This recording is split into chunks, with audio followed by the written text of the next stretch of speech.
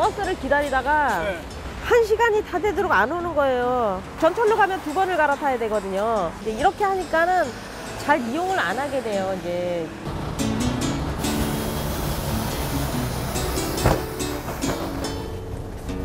기사님!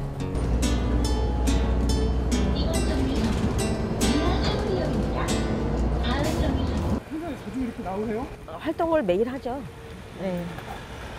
버스로 이동하는 거는 거의 멀리 나간다는 건 불가능해요. 멀리는 뭐 안 되니까 이제 나가는데 노, 노들 정도? 음. 어, 그 정도 차이가 있을 수 있죠. 예? 위험하게 왜 아. 도- 위험한데 예, 인도가 여기에 좀 보시다시피 여기 이렇게 좀 올록 튀어나온 데도 있고 예, 적치물이 있어서 예, 좀 울퉁불퉁하고 보시다시피 이런 이런데 예, 음. 이렇게 예, 이런데 울퉁불퉁하고 여기도 이렇게 이제 이쪽이 이렇게 좀 경사가 많이 졌어요. 경사가 많이 져가지고 이렇게 몸이 많이 쏠리죠. 경사가 들진 대로 이렇게 가는 거죠. 이렇게 보고 차가 오나 살피고 이쪽으로 이렇게 해서 예, 여- 아, 예. 경사가 네, 있으니까 이렇게.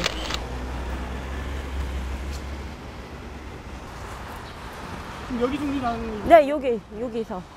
어룡역 예, 여기 어려운 역이에요. 여기서 이제 기다리는 거죠.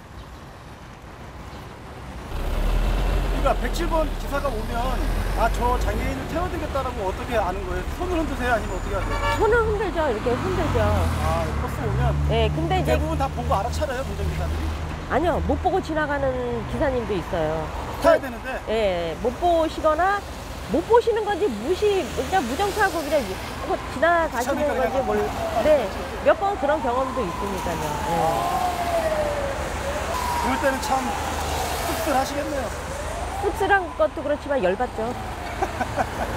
그러니까 저선 버스가 몇 시에 여기 여- 대략 몇 시에 여기를 지나치는지 예. 그런 게 좀 미리 좀 알 수 있으면 시간 아, 맞춰서 저기 좀- 오네요. 아 지금 아주 네. 107분 아, 오늘은 그래도 운이 좋으네요. 그래서. 그 버스가 길다 보니까 정지선을 맞추기가 힘들어요. 또 정차돼 있는 차량이 있을 경우에는 또 앞에 뭐 막히고 또 그런 여러 가지 정황상 되려고 하지만 그 무리가 있을 때가 있어요. 딱 정차가 안 되는 경우도 있죠.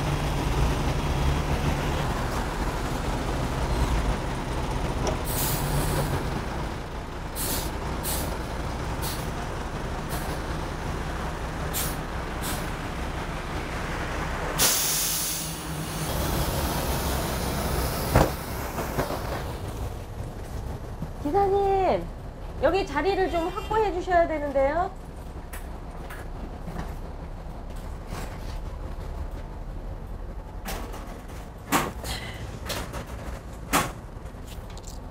고정을 다 쓸게요? 고정을 다 쓸게요? 그럼 오늘 빨리 좀 타셨네요 아, 오늘 좀 빠른 거예요, 진짜. 어.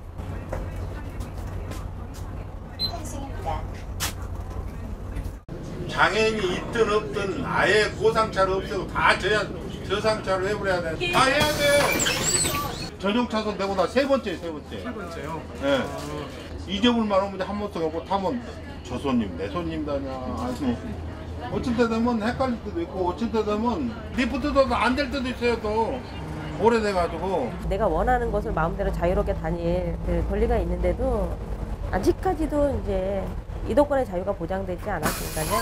어디를 내 마음대로 간다라고 해서 마음먹은 대로 갈 수가 없는 예, 현실이죠. 지금도.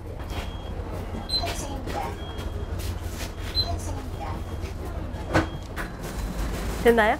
가면 네 이제 한번 네. 에이씨. 네. 아이고, 여기. 그래 아. 뭔일 있어 회사로 미리서 전화해가지고 예, 예. 알겠습니다. 감사합니다. 장애인이 편하면, 교통약자가 편하면은 비장애인들도 편하거든요. 다. 저희들이 편하면은 모두 다 편한 거예요. 그런 환경이 만들어지면 비장애인들도 오히려 더 편한 거고요.